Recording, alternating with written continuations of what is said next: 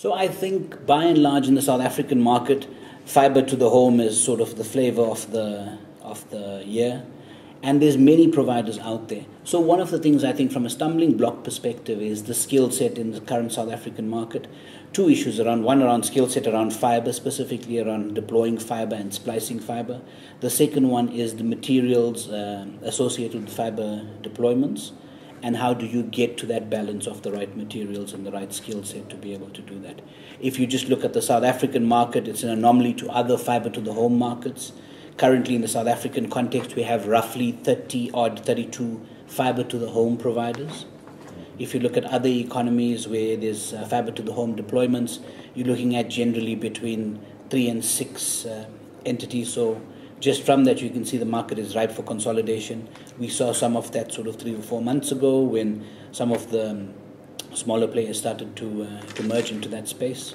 And I think we'll start to see more of that uh, come along the line. If you look at the diversity of our network, it covers many of the unconnected areas. And if you start to deliver broadband connectivity to those areas, and you know, if you go down the National Development Plan for South Africa and those types of things, you then start to see the real economy come together as you start to change those underserviced areas.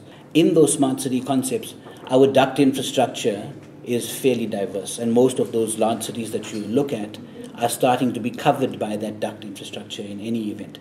So, if we start to balance this between what we look at the broadband ecosystem and fiber deployments, those cities already have underground or overhead infrastructure. It's a matter of hauling in the fiber or upgrading the copper infrastructure or the equipment that runs the copper infrastructure. And then we start to see a very diverse, per, pervasive network out there. Mm. The other thing that we're actually doing in the space as well is as we deploy fiber to the home, it's not just a fiber to the home play for us. It's a play on fiber to the business, fiber to the base station, and all those types of things. If you then couple that with the Wi Fi initiatives that we've just started on, the entire smart city concept around Internet of Things and all those types of things all come together. And if you look at it in the South African context, we're the only provider in the South African context that has access to all those technologies. So we will launch a wholesale Wi Fi portfolio, which then enables service providers in the country to tailor make packages for their end users in those specific um, economy. So what we've done is we've analyzed what we generally consider high density, low penetration areas. Mm. And those are typically the areas that are sit on the urban sort of uh, fringe. So we're specifically targeting those areas. And what you'll find is that we already have infrastructure in those areas. Wherever you are in the country, we can land the traffic at one point for you. Mm. So you don't get straddled with the costs of having to build out your own network all over the place and things like that we will use our sort of robust protected core and bring the traffic to one point.